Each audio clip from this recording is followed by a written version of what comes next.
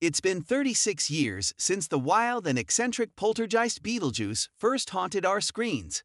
And now he's making a thrilling comeback with a sequel that's bound to give fans goosebumps.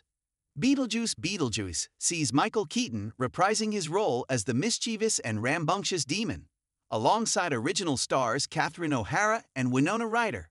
This new chapter also introduces a fresh lineup of talent, including Jenna Ortega, Justin Theroux, Monica Bellucci, Arthur Conti, and Willem Dafoe.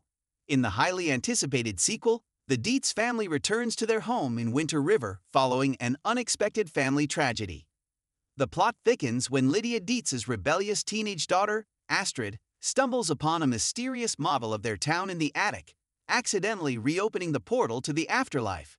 As trouble brews in both the living world and the ghostly realm, it's only a matter of time before someone says Beetlejuice's name three times unleashing chaos and mayhem once again. Fans have been treated to not one but two spooky trailers for the film, with the latest released on July 18 showcasing a dramatic team up between Lydia Deetz and Beetlejuice in a bid to save her daughter Astrid.